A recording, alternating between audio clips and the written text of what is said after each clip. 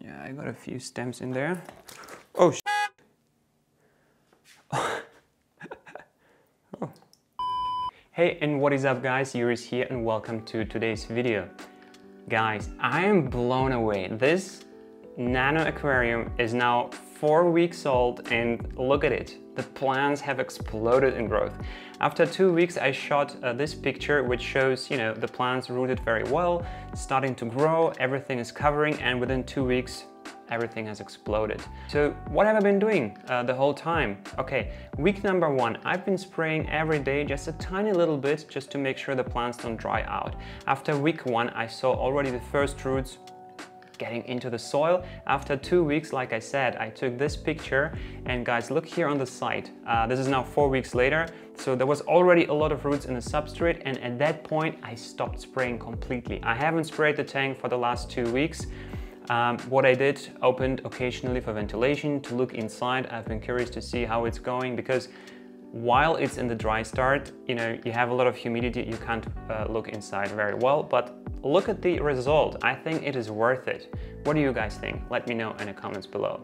Anyway guys, today we are going to maintain this aquarium. The Monte Carlo needs a trim for this. I have to fill in the water, so let's get started.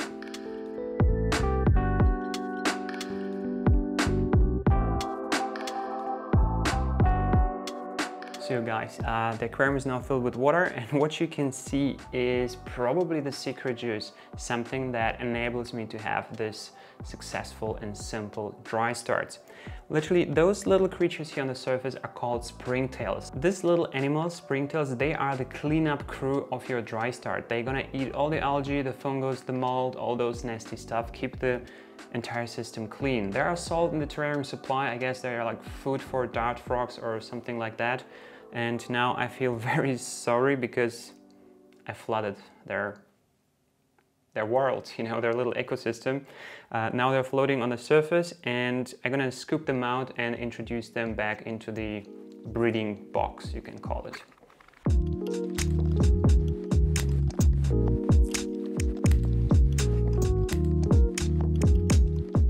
Okay, ready for a trimming session. I have a little arsenal of tools over here. Gonna start with a wave cutter and just, you know, in the foreground and on the side, uh, I might rotate the aquarium with the side to you so you can better see what is going on there.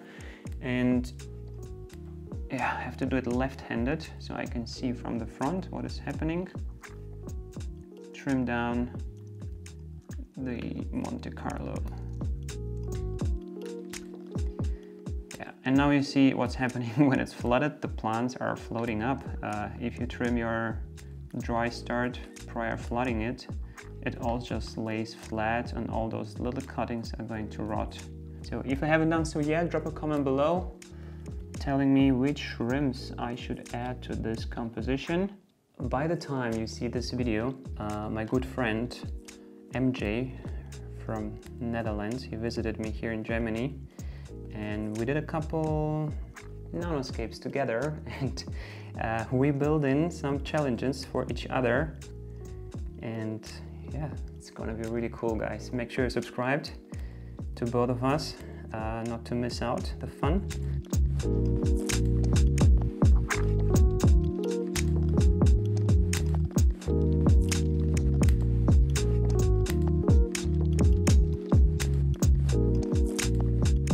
Okay guys, I just finished trimming the first side and whew, that is challenging.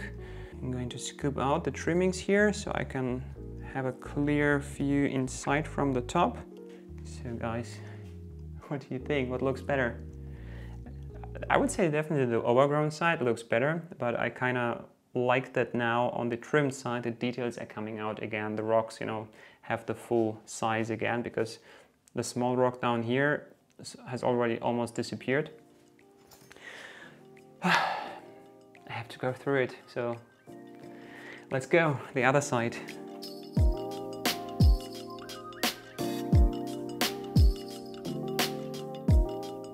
The good thing is, once flooded with water, the growth is going to slow down. So, and the leaf size is going to shrink. So we are going to get a little bit more how to call it, you know, nicer sense of depth. And I cannot stress out enough how important it is to trim the plants regularly, especially in such a small aquarium at an early stage. This way you're going to establish a very shallow and dense carpet because if you let it get out of control, it's gonna grow all over the place and yeah, eventually get loose at the bottom and then float up. I kind of cut open a little patch, so I would like to do a little smart repair. So I'm going to catch some slightly larger runners and plant them. Yeah, I got a few stems in there. Oh,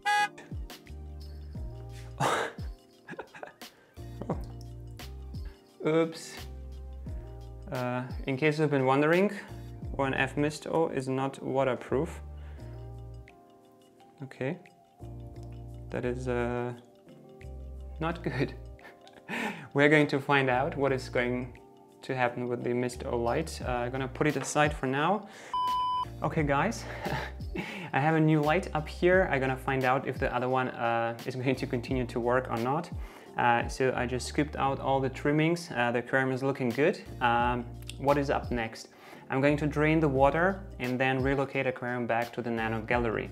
I'm also going to equip it with a little hang-on back filter and to kickstart, you know, all things in the water and in the filter, I'm gonna use uh, those two special weapons, uh, Nite Out from Microbe Lift uh, to kind of you know get the nitrification cycle going to get all the good bacteria into the filter as well as special blend as it has a bunch more other good uh, bacteria in there so we're going to yeah inject some life into the filter and into the water with these two products absolutely loving them using them on all of my tanks and uh, yeah uh, I'm also gonna install some pressurized CO2 but I guess this you're gonna see in the next video. So make sure you subscribe guys, check out the playlist of the Nano Gallery up here and I'm gonna see you in the next one.